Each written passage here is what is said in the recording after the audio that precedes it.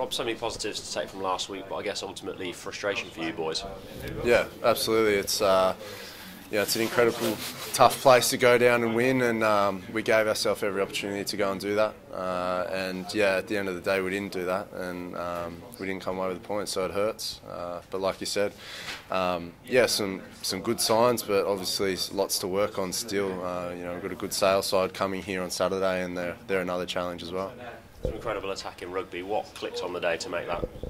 Uh, yeah, it's. Uh, I mean, we're, we're working we're working hard throughout the week, every day, to um, focus on the little things in, in our attack, and I think that's what uh, sort of starting to show through a little bit with um, just the, the focus on the detail in, in, um, in sort of doing those basic skills right uh, and creating space for others. I think.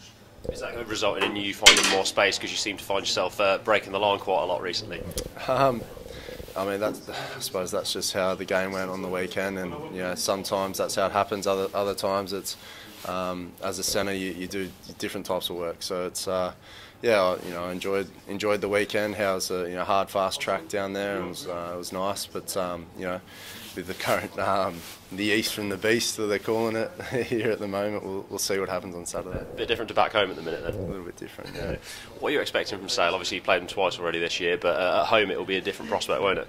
Yeah, they're a, yeah they're a dangerous side. They've got um, players with a lot of ability um, across their team, and um, they're playing with some confidence. We've seen that recent results, so uh, it's going to be a huge challenge and um, one that I think for us we've um, we've got to take our opportunities when they when they happen because with the players they have who they can change a game on, on the hat so um, yeah